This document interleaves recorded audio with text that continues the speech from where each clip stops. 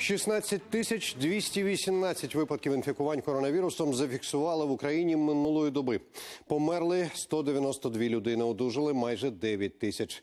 Найбільше інфікувань на Дніпропетровщині 1773. Далі Київ із півтора тисячами випадків і вже понад тисяча захворілих у Запорізькій області.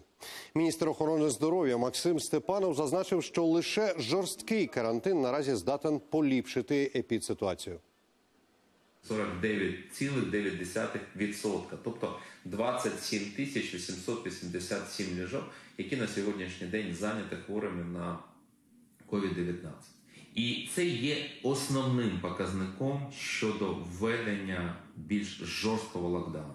Зараз ми розраховуємо на ті карантинні обмеження, які е, діють в нашій країні.